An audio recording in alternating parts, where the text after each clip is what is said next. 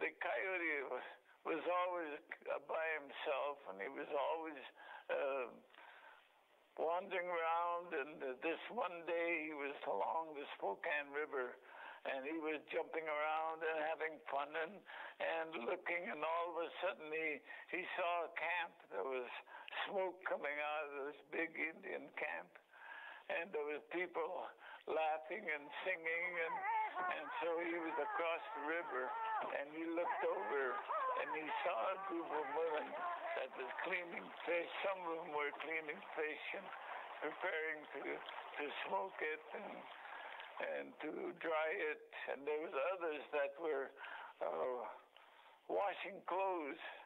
And these were the ones that were singing. These, these were the ones that were having fun. And, and he looked at them and he was just going to leave. And he looks and there's one of one girl that stands out. Oh boy, she's beautiful. Gosh, I I want that girl. He said, but what can I do? How can I get her?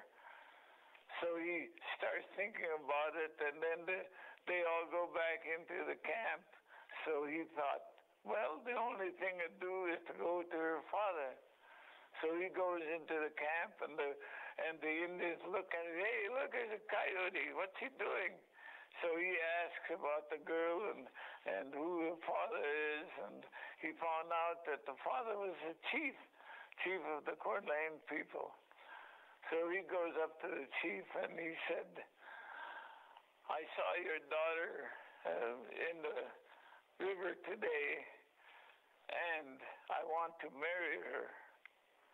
The chief looked down at him and he said, oh, what, what did you say? He says, I want to marry your daughter. And the chief started to laugh. he says, You can't do that. You, you're a coyote and she's a human. You can't marry her.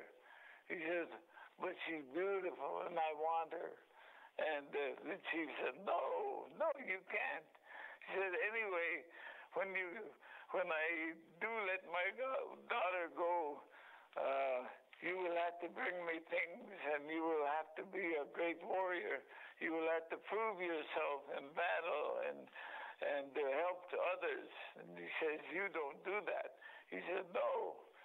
So the coyote leaves, and then he thought, Kalispels are good friends of the d'Alene people. So he goes up there to the to the Kalispels and he tells the chief the same thing. I want to marry that girl and I want you to help me get her. And the Kalispel chief started to laugh. and again he was chased out of camp and and he was ashamed but he still was determined. So he went to the Spokane tribe and the same thing happened. They laughed at him and threw rocks at him and sticks and then chased him out of the camp. Then he went to the Colvilles, the same thing happened. And so he finally came back to the Coeur and then he used his magic powers and he moved big rocks and dirt and he put it into the river and he saw the salmon coming up, but they couldn't go over the the uh, dam that he made like a dam, and so he he stopped the water from coming down, and then the water finally filled up and it came over anyway, and then he went over to the chief, and he says, "I am going to leave that." The way it is, no more salmon coming up until you change your mind. And when you change your mind, you let me know and I will come and get the girl.